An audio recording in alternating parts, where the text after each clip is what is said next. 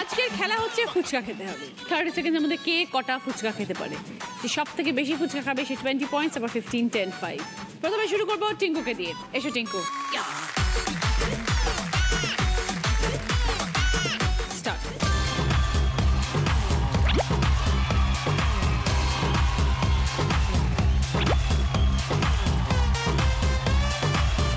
বারবার করো না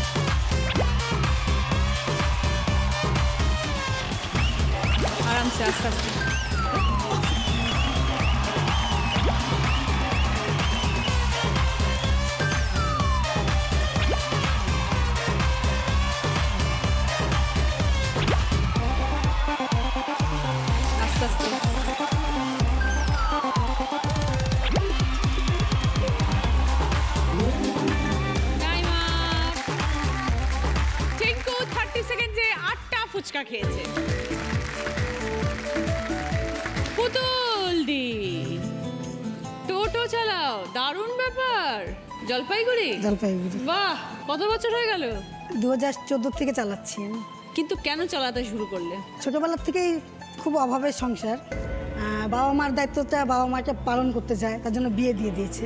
বিয়ে দেওয়ার পরে তো শ্বশুর বাড়িতে গিয়ে সংসার ঠিক করতে পারলাম না। করতে পারিনি কারণ কি স্বামী কাজ করতেন না।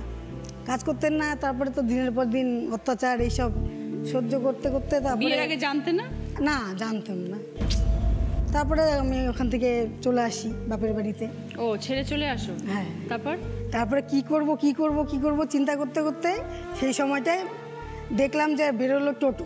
মোদী সরকার টোটো বেরিয়ে বের করেছিলেন রিক্সা ভাইদের জন্য। তারপরে তো পাড়ারই একজন দাদাকে বললাম যে ইনস্টলমেন্টের ব্যবস্থা করে দিতে। তারপরে উনি ইনস্টলমেন্টের ব্যবস্থা করে দিলেন। তারপরে দু হাজার চোদ্দ থেকে শুরু করলাম।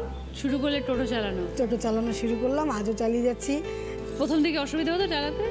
ভাইয়ের শালা সাথে ছিল কয়েকদিন তারপরে যখন নাকি ওরও তো আলাদা কাজ আছে সংসার আছে তারপরে কয়েক চার পাঁচ দিন সাত দিন পরে আমি একাই শুরু করলাম। তার জন্য আমি না যা হবে হবে। মরতে তো হবেই একদিন। জিতেই মরবো হেরে মরবো কেন? ঠিক একদম ঠিক।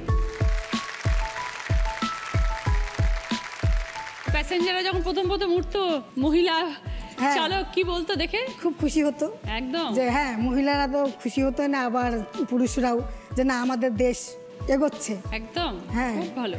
জলপাইগুড়িতে যেহেতু আমি একাই আছি ভীষণ আদরের সবাই ভালোবাসে। একা মাত্র একজন মহিলা যে পুরো জলপাইগুড়িতে একা টোটো চালায়।